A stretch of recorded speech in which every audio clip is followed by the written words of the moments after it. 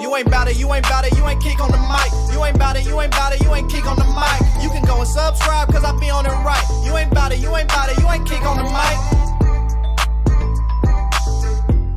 Hey, what's going on, Bears fans? Thank you so much for joining me for another episode of Keek on the Mic, the podcast all about the Chicago Bears. As always, if you're new to the channel, make sure you hit that subscribe button and the notification to catch all Bears content right here on the podcast. First and foremost, Bears fans, happy Friday to every single one of you guys. And just for the sake that Friday, we are going to do a seven round Chicago Bears mock draft right here on Keek on the Mic. But today on Keek on the Mic, I'm going to be doing it with a very special guest. It's the Chicago Sports Talk. Michael, how you doing, Michael? I'm doing good, Keith. What's up? What's good, everybody? To Keith's audience, real, real quick. I love it. I love the energy you're coming with today. You know, I told you, I hey, we need to come with the energy on all these videos. It's gonna be a good time. We're going to do a Chicago Bears seven round mock draft. You know, we're what less than a month away from from the NFL draft. How are you feeling about the Bears going into this draft, Michael? It's quite unfortunate with Justin Fields, but like I said, I wish him nothing but the best, man. But I just hope the Bears can finally once uh get hopefully, you know, end this quarterback cycle that we've been going on. Like we des- we as Bears fans deserve to have like we should be like the Chiefs fans right now. We should be like like those other teams that just like to talk a lot a lot of you know uh, stuff be like hey we got our guy but we get right now we're keep getting constantly reminded by packer fans right uh yeah the, that that um the, you ever like there's like there's a video Keith um that Packer fans created. It's called The Bears Still Suck.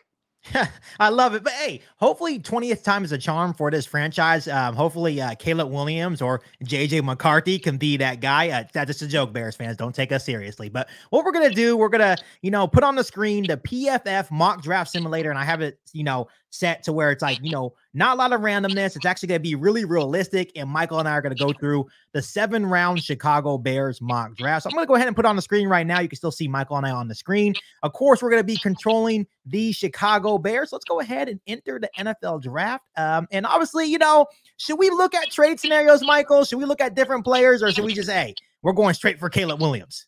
I think everybody is like, uh, is like Keith. You already know the pick. You already know the pick you know, I think I'm just trying to stir people up on a Friday. You know, I'm in a really good mood. Um, I'm feeling really good about quarterback Caleb Williams, NFL arm talent, um, elite playmaking ability. And I'm hoping, I'm hoping to the football gods they love Chicago Bears fans. I am just hoping that Caleb Williams is the guy. and, and people, and you have already people saying if Caleb fails, we're we're a cursed city.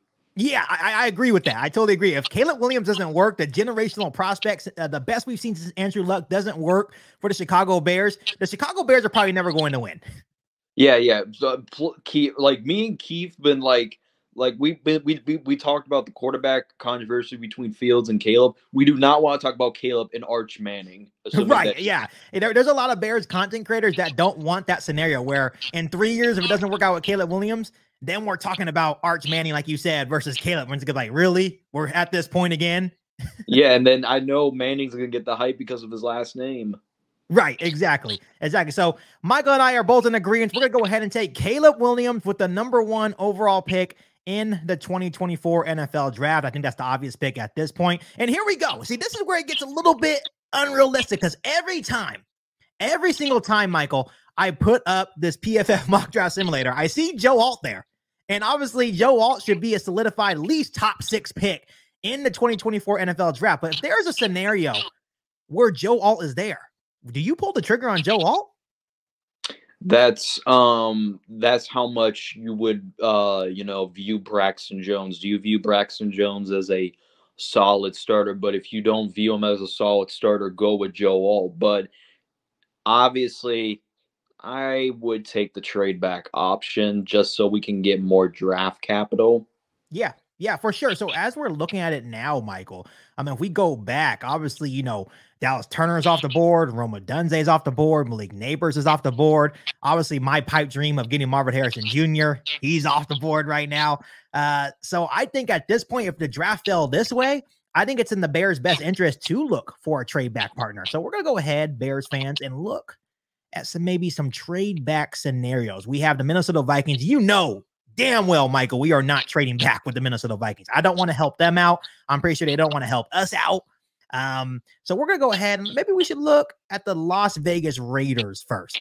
Um, I'm not sure about you, but I'm intrigued by maybe giving them nine, obviously, and then maybe asking for 13, 44, mm, and maybe a day three pick if possible. Normally, I say try to, you know, squeeze a future first round, but nah. Well, I mean, unless we trade down further, unless like the Rams are very interested, because I saw the Washington. Well, I didn't really see like the full Washington. I only saw clips. And let me tell you something. Michael Penix impressed me the most. I thought he was going to be a day two pick. Yeah. So regardless who we trade back from, if there and remember when we traded um up for Justin Fields, I think uh three years ago, we traded up to get Fields, and we had it like we fall in love with Justin Fields to the point that we gave the Giants a future first round pick. Right. So if if any team, like for example, the Rams, Matthew Stafford obviously is getting up there in age. He's not going to be the long term solution for them.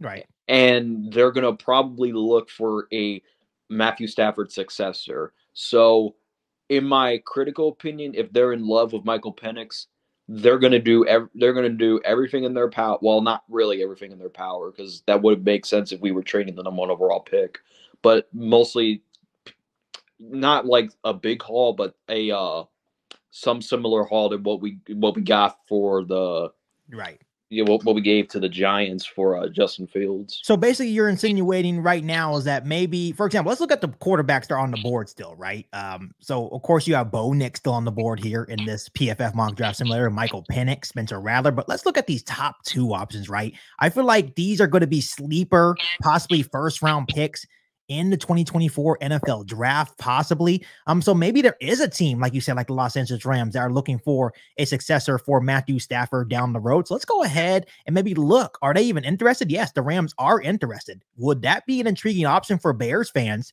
to possibly move down 19 to 19? So 10 spots from 9 to 19, and we possibly ask for 19, 52, maybe a third round, or maybe do we try to squeeze out a first round pick next year? But obviously, that said that trade will not be accepted. So maybe we ask for a second round pick.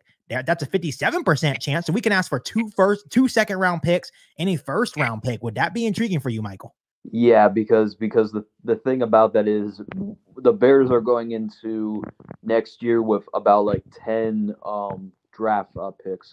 Depending what Ryan Poles does, which I don't think I think Ryan Poles is going to trade back the the ninth pick. Or it's going to be regardless if Rome is there or if the player that he wants. I feel like he's like this is not Ryan Pace where Ryan Pace trades up, which Keith and I know very well about Ryan Pace. He trade he trades up and then he gets the unnecessarily player that eventually does not work out. But Ryan Poles, from what I know, loves to trade back. He only traded up one time, and that was for Tyrique Stevenson. So I think even if even if the the best player available is there for him, I think Ryan Poles will definitely trade back.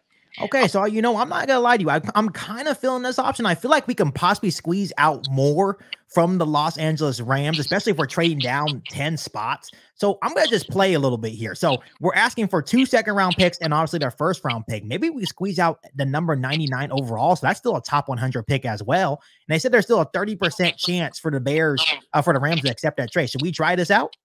All right, let's let's let's get it done. Okay, let's see if they accept this trade from the Chicago Bears, and they do. So the Bears land, you know, um, three crucial picks or two crucial picks, um, extra in the 2024 NFL Draft with pick number 52 and 99, and we get a next year second to move down 10 spots, right? So obviously we accept that trade. So now the Chicago Bears in this mock draft um, on Keek on the mic are picking number 19, and look at all um, the talent still on the board for the Chicago Bears. Obviously, this is a blow that Laiatu Latu was picked 17 um, by the Jacksonville Jaguars. That's a guy that if we do trade down, I would be really high on from UCLA. He's a hell of a pass rusher, uh, but now he's off the board.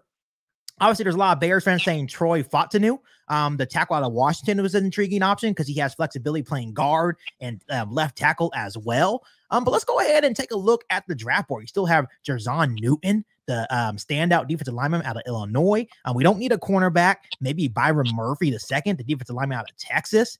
Um, there's still that tackle from Georgia. Ooh, here we go, Michael. We still have Jackson Powers Johnson on the board. Who intrigues you the most here? Obviously, Keith, you mentioned this millions of times. Um, the center is the most um, important. Like people say, it's we're a quarterback away from competing, uh, but no, we're a center away from competing. That offensive line needs a center, and I don't feel like we need one of the top tier left tackles, but um, we we need competition for Braxton Jones to make sure he doesn't earn the starting job day one. Mm-hmm. So we don't really have we don't really have that center spot. And I've been saying this, even though I love uh, Shelton Coleman, the addition that we got, are we sure he's not the are we sure he's the long term answer? So yeah. I rather I rather get a rookie, mm-hmm. a, a, a um, rookie that's coming into the NFL than sign because than sign a veteran because we did that with Lucas Patrick's. Look how that turned out. We moved Cody Whitehair, and Cody Whitehair can't can't snap a ball right. Right, right. You know, Michael. You know, you bring up solid points. Right. We we keep flip flopping um, the center position and, and something that can't be neglected. I said it many times here on the platform right here on Keek on the mic. Um, and Jackson Powers Johnson is obviously a really intriguing prospect in the 2024 NFL draft. He's by far the best center in this year's draft class. And if you're if you're able to trade down to 19 and get extra draft capital, not only for this year and next year, but still be able to land a solid center in Jackson Powers Johnson, I think that would be a really intriguing situation for Ryan Poles to get a center for the next 12 to 10 to 12 years. And my point, you brought up uh, Coleman Shelton. He he was actually a pretty decent pickup. He has familiarity with um uh the offense. So and, and what Shane Waldron's going to run has familiarity with it. So that's a good thing. I think for this year it will be good. But having a guy like Jackson Powers Johnson behind him to groom him and he can be our long-term starter after this year is really intriguing to me. So are we both in agreement that we're going to take Jackson Powers Johnson sitting out of Oregon here? Yeah, sure. Let's let, let's take him. Yeah, I'm going to go ahead and take him with the 19th overall pick in the 2024 NFL draft for the Chicago Bears. Really like that pick there. So now here we go. Now we have a second round pick. Obviously, uh, we did not have a second round pick going into this year's draft originally, um, due to us trading for Montez Sweat. Obviously, we love that Montez Sweat deal now. Um, he's absolute monster. But now by trading back with the Los Angeles Rams here in this uh, seven round Chicago Bears mock draft uh, with Michael, we now have a second round pick at pick number 52. I think this would be a good time to look for a receiver, don't you think? Um, the only receiver. Well, let's go. Let's go to receivers because yeah. because Brenden Rice, I feel like is going to be there in the third round. Right. Right. So when you look at the receivers, you have uh, Ricky Pearsall, the wide receiver out of Florida, Jermaine Burton, wide receiver out of Alabama. You have a kid from Washington, two guys from Washington. Obviously, Jalen McMillan um, seems kind of intriguing here. Um, obviously, uh, we go down the board, and there's a lot of people interested in Brenden Rice out of USC, and to pair him with uh, uh, Caleb Williams, obviously, right? Uh, from their days at USC. Um, but obviously, you see his rank. I think if you pick him here, you're you're risking that it's a little bit of a reach for a guy like Brenden Rice. So you can you have a choice here. Maybe we can go look at um, edge rusher here, right? See what the edge rushers are looking like. Obviously, we didn't pick an edge rusher at number 19 because we took, you know, Jackson Powers Johnson, but we do need another pass rusher alongside alongside Montez Sweat as well. Yeah, I agree. We do need another. We need a we need a pass rush. Like I, I see people saying that we need we we need to re-sign Yannick Ngakoue on a one year deal. No, that that that experiment failed, and I was one of the individuals that wanted Yannick Ngakoue. So let's go ahead um, and look at the edge rushers. We have Adisa Isaac, the edge rusher out of Penn State. Um, I actually really like his game. Yeah, we can go we we can go ahead and look at his profile a little bit and see if this is the right fit for the Chicago Bears. Obviously, had a really good year in 2023 um, with nine sacks, four quarterback hits, and 20 quarterback hurries as well. And we take a look at the first look, Michael. Here, obviously, his big big board rank on PFF is at 50. So obviously, he's one of the top 100 players in the 2024 NFL Draft. Stands at six foot four, two 254 uh, pounds. Um, and it does say here that Isaac is a very solid edge prospect, first and foremost. He's a stout run defender, even at a low weight.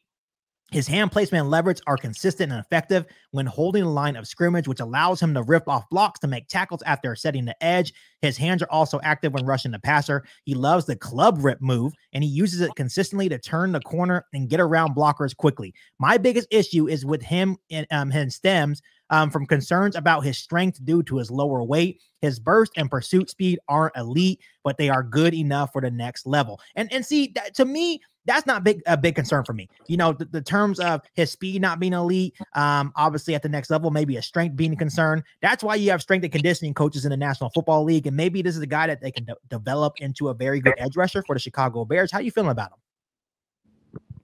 Okay, so remember how this defense was playing uh was not playing that well until the Montez Sweat trade.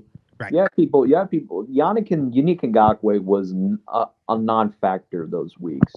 Demarcus Walker looked like a waste of a signing until like this whole defense started to gel after we got Montez Sweat, and sacks were coming in left and right. So regardless if we have Isaac, Isaac, so he is going to be molded in and maybe learn under uh, Montez Sweat. Like these players that were really, uh, you know, gelling gelling in is because of Montez Sweat.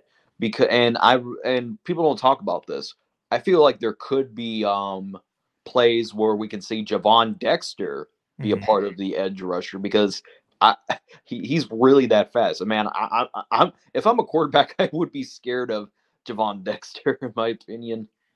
Yeah, and you're, you're absolutely right. The Montez Sweat effect is is truly real, and obviously you're not expecting Adisa Isaac to come in and be the guy right away. You still have Demarcus Walker, obviously Montez Sweat. You have Dominique Robinson coming into the fold as well. I mean, like you mentioned, you have guys like Gervon Dexter that have the ability from their defensive line position to create, generate pressure from the middle up the middle as well. So I would be fine with bringing this guy in and grooming him to be a really good edge rusher for the Chicago Bears, right? But he also would probably make an instant impact because of the Montez Sweat effect. Yeah. So I'm going to go ahead. I think we're both in agreement here, Michael, that we're going to take Adisa Isaac, the edge rusher out of Penn State. So let's go ahead and take him with pick number 52 in the 2024 NFL draft. And, and here we go. Now we're in round four, right? Or round three. My bad. My apologies. Round three, pick 11 here, pick number 75 overall. Now this is the good point part to go maybe see if Brenden Rice is still available. Are you in agreement with that? Yeah, I mean, I, I I- to be honest, I, I would want to trade back though. You would be interested in trading back and maybe hoping that he is still there. Yes. See, to me, I've always said that even though it may be a little bit of a reach in round three to take a guy like Brenden Rice, but I feel like his ceiling is pretty high for the National Football League. And and for example, just like we said about Adisa Isaac not ha- having to come in and be the guy, the same thing goes for Brenden Rice. He would be a very good wide receiver three or four option for the Chicago Bears. You have DJ Moore, Keenan Allen, right? So he wouldn't have to come in and be the guy right away. It's some a guy that can come in and make plays here and there for the Chicago Bears, um, and, and groom him into something special. I, I I agree with what you're saying, but the difference between the Montez Sweat thing, because I really like the Keenan Allen edition, the fact that we had to give up a fourth. There's two things that concern me about Keenan Allen. One, his health. Two, his age, Mhm. because we have yet to sign him. So who knows if he's the potential number two beyond DJ Moore. So the reason why I say go get a guy like Brenden Rice is because there people were saying that he was a terrible receiver for uh uh Caleb Williams last year. He wasn't good. He wasn't really good, but he was just maybe uh he was middle of the he middle of the pack. But my evaluation on him is he's a very good number 2. But he would be a good he would be a number 1 on certain teams. But in his I think he has potential to be the num uh, the number 2 beyond behind DJ Moore. And the reason why I say that is because well you just heard me with the Keenan Allen stuff because those two things even though Keenan Allen is good when he's healthy ha- Keenan has an injury history that we that me that we, we should know about. Yeah, he, he could be a good uh, receiver, but at the same time, outside of Keenan Allen, if he goes down, who do you trust? Tyler Scott, Velus, jo- Velus Jones Jr. You saw how Velus Jones Jr. does when he's targeted deep. Right, exactly. And you're you're definitely right about that. When I look at Brenden Rice's numbers though, um, especially in 2022 and 2023, I see I see some consistency, right? 39 catches um in 2022, followed up with 45 catches in 2023. Um, obviously at 611 yards in 22, and then 23 followed up with 791 yards. And obviously in 2023, the production in terms of touchdowns went from 12. And then obviously in 2022, he had four. So went from four to 12. So obviously it was one of Caleb Williams' go-to targets. And rather you take Brenden Rice or maybe like later on in the NFL draft, take a guy like Tahj Washington. I'm um, the little speedster out of USC. I think it would be really smart to pair him with one of his guys from USC. So I'm not sure about you, Michael. I, I am okay with reaching here and and taking Brenden Rice because I feel like the ceiling um could be really rewarding for the Bears. Yeah, I, I I I totally I totally agree. Yeah, even though I do get your uh, I do get your opinion on like okay, maybe we can trade down, get a couple more draft picks. I just feel like you don't want to risk it. He is there in round three. I think the ceiling is high enough to take a guy like Brenden Rice. So I'm going to go ahead and pull the trigger on Brenden Rice in round three here. And here we go. Now we're moving on to our second round three pick due to our trade back with the Los Angeles Rams earlier in the video. And and now here here's the difficult part. When you get into the later rounds, um, you look you look at the Chicago Bears needs, right? We obviously addressed the quarterback, we addressed the wide receiver, um, we addressed what the edge rusher position. Is this a good time to maybe look at a guard death, like maybe offensive line steal? Um, should we look at defensive line? How are we feeling here? Oh, I mean, oh, man, this is Keith. this is so tough, but um, I do want to say this, and I want to give Nate Davis one more year. Yeah. Before we come to terms if that was a waste of a if that was a waste of a signing. So I do think that we do need somebody just in case the Nate Davis thing does not work out. But the the number but the million dollar question is who who um who uh right now intrigues you because I'm seeing the big board. I'm seeing one of the top guards from South Dakota State. Yeah. The, the, the I don't know if you uh or um have done you know any scouting on on him. I, I just want to see if he would be a good potential successor for uh, Nate Davis. Yeah, here's the thing. Here's the first thing I look at, Michael, when I'm doing my evaluation on these guards. You know, obviously I look at athletic ability. Um, obviously that's that's very big when you're looking at a guy um, like Ryan Poles and like his evaluation. He likes athletic offensive linemen. Um, you look at his snaps by alignment here. Um, all his snaps have been at left guard in his college career. Um, but doesn't mean he can't make the transition to right guard. You know, obviously, um, Teven Jenkins has done it many times with the Chicago Bears. Um, obviously, you look at his three years at South Dakota State. Looks like he's been solid, right? Only two sacks given up in his three-year career um, with South Dakota State. So I do like that. Um, obviously the hurries, um, year by year, it looks like he improved. Um, in 2021 had eight hurries allowed. Um, 2022, 2021, eight hurries allowed. 2022 had five, and then 2023 had three hurries allowed. So I really like that. Um, Tim, we can always look at his size. 6'5, 315 pounds is, is massive size, right? for for an NFL guard. So I do like that. We can look at the analysis. Obviously, there's not analysis on every guy.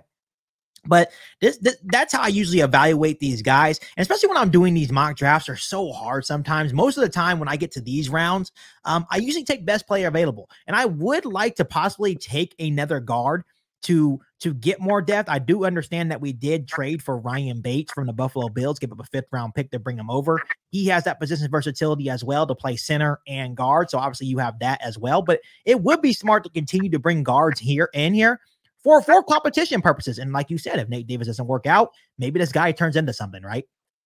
Yeah, because I think even though people say that Nate Davis, like Nate Davis was, I don't know if it was because of that that thing that he was going through, the the the thing that that happened earlier in the season, but it's becoming more of a bad uh, signing, and I'm just wanting to give him one last chance before we decide to pull the plug on him. Yeah, no, yeah, no worries at all. I don't, I totally get that, Michael. So I'm going to go ahead and we're going to select Mason McCormick, guard out of South Dakota State. I do like that pick. So now here we go. Um, we only have one more pick in round four, and I'm totally fine with right here taking the best player available as well. Um, don't think we should pull a trigger on a uh, on a running back, or maybe you can look at a safety. Um, because you know the same thing. You look at Kevin Byard, for example. He is up there in age. How how much how many more years does he have playing football? Right? Would this be smart? Maybe bringing another safety in here. Um, I know we have Elijah Hicks, our draft pick from a couple years ago, that they're maybe grooming him to be the next safety um, alongside uh, Jaquan Brisker. Who knows? Uh, when, when when we look at our options here, maybe another edge rusher maybe would intrigue us. How are we feeling here, Michael? This is what Ryan Poles does a lot on day three. And I think me and Keith can come to an agreement that Poles loves, loves to trade back a lot on day three. He turned five draft picks when in Ryan Pace's mess, and he turned that into 11 draft picks. Yeah. And then the following year, I don't know how many trade draft picks we got from that year, but I think it was seven, maybe eight. I have to go back and check, but um, he he does he loves to do a lot of trade backs a lot day three, and this has been a thing with the Chicago Bears even in the Ryan Pace era era. We always find late round picks. Eddie Jackson, Moon, Mooney was good until this year. Um, I'm trying to think. Uh, like uh, James James Daniels. Uh, basically, we uh always, our good players always come from later round. Even Tarik Cohen, I for, I forgot about him. Tarik Cohen. Right. So this, I do think the if I'm Ryan Poles, I I trade back. I do I do what I keep doing and trade back on day three. You know, I, I, I would agree with you on that too. Just for the purpose of this video, though, I think I'm just gonna take the best player available here. Just for the purpose of this video. I know realistically he may trade back um in round four to maybe get more draft picks, but you know, obviously when he talked to Kevin Fishbain of the Athletic the other day, he didn't seem too concerned about possibly getting more picks. Right, all avenues are open, but he seems like content with possibly even taking the four best players available in the 2024 NFL draft. Because his reasoning is, he says, in general circumstances, most team in a three-year window get 21 draft picks. In a three-year window under Ryan Poles, the Bears have selected through the 2024 draft, once it's over, 25 players. So he said, We're still ahead of the game. And when you look at next year, the Bears will have what, 10 or so draft picks as well. Hmm. So to me, I think that's his mindset. And and a, and a guy, I, I know I didn't say, I know I said this, Bears fans. I know I said I didn't want to take a running back here, but wouldn't it intrigue you to get another USC guy that's comfortable with Caleb Williams here and Marshawn Lloyd? To be honest, I feel I like Khalil Herbert. I like Roschon Johnson. I feel like the Bears need like a big, like because we had the Thunder and Lightning. That means uh, Jordan Howard and Tarik Cohen. D'Andre Swift, you know, he's a bit short.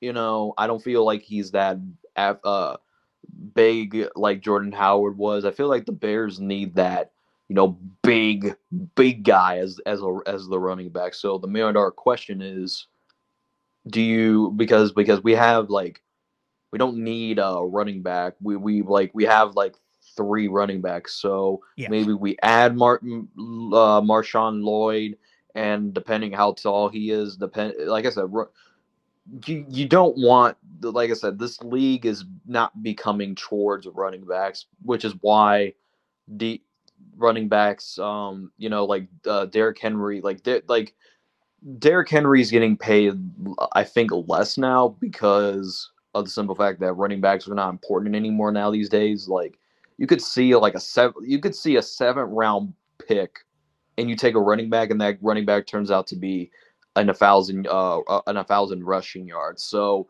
in my critical opinion i think we do need that big bot that big guy as a running back so that depends how much you value marshawn lloyd Yeah, here's the thing. You look at Marshawn Lloyd, he's definitely not a big back. He's 5'9, 210 pounds. Um, but you know, the bottom line here on the PFF uh, simulator says Lloyd has starting caliber, uh, NFL caliber athlete. He has that ability to be a starter in the National Football. League. It just seems like He just needs to improve his vision. Um, and they said the big thing is his athletic ability. Um, his burst, agility, and long speed um are well above average for the NFL level. I do like that. Maybe he can offer some value as a special teamer early on in his Chicago Bears career.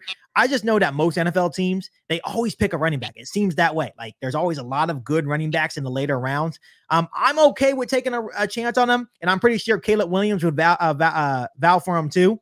Be like, hey, let, let, go, go go ahead and get my boy. He's outstanding. So I'm gonna go for the purpose of this video, make it fun, make it interesting. I think we should go ahead and take a chance on Marshawn Lloyd. Mm-hmm. Okay. So we're gonna go ahead and take a chance on Marshawn Lloyd here, and that will be our final draft pick. Obviously, I took the best players available on the board here on this on today's episode of Keek on the mic. And now let's go ahead and grade our Chicago Bears seven. seven okay, I, I, do. I'm sorry to cut you off, but um, that that Jackson Powers Johnson grade that's cap. That's yeah, there's no way that's a D plus. I I call cap on that one too. A D plus for Jackson Powers Johnson after a trade back is is crazy. We get an A for the Adisa Isaac pick. We get a C plus for Brenden Rice, which I figured. Um, we get a B for Mason McCormick, the guard out of South Dakota State. And look at what I tell you, Michael, an A minus grade for our boy Marshawn Lloyd, halfback out of USC. So that was a good pick. But I'm still confused by that by that uh, D plus for Jackson Powers Johnson. Yeah, um, that depends if he could be that uh, thunder and like I said, when we had Jordan Howard and Tarik Cohen, that was a big right. thunder and lightning. Right, for sure, for sure. I totally, I totally get it. But Michael, I, I do appreciate you coming on. Um, and Bears fans, go ahead and and give us a grade for our seven round Chicago Bears mock draft on today's episode of Kieq on the Mic. Let us know down below in the comment section. Obviously, PFF gave us an A grade. So give us a grade down below in the comment section. I do appreciate every single one tuning in. Um, as always, make sure you continue to hit that subscribe button and the notification to catch all Bears content right here on the podcast. Make sure you follow me on all my social media platforms and make sure you share this episode of Kieq on the Mic with every single Bears fan that you know. But other than that, we're back for our all new Bears podcast right here on Kieq on the Mic. And as always, to every single one of you guys, bear down. Bear Go ahead. And, that's right. That's right, Michael. Bear down to you guys. See you guys later. You've been listening to Kieq on the Mic, a podcast all about the Chicago Bears. Don't forget to subscribe to the channel and hit the bell notification to catch all Bears content right here on the podcast. Thanks, guys, and bear down.